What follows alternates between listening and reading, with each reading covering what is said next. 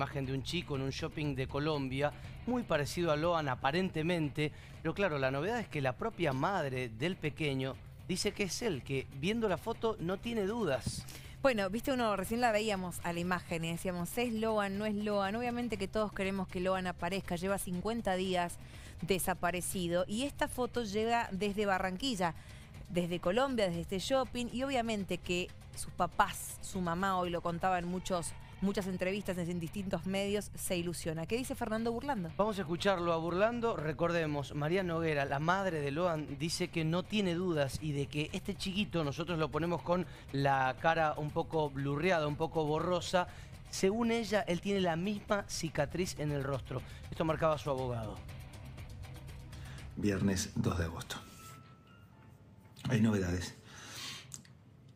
Aparece una fotografía de un chiquito de una criatura eh, de las mismas características este, a Loan. Esto ha, generado mucha inquietud en, la familia, mucha expectativa. Eh, inmediatamente, una vez que tomamos conocimiento de, esta circunstancia y de cómo se encontraba la familia, la presentamos este a la justicia, informamos este, quien tomó esa fotografía, eh, que lo hizo en, Colombia. Las, particularidades del caso, obviamente, se las aportamos este, a la jueza, no hoy, sino ayer.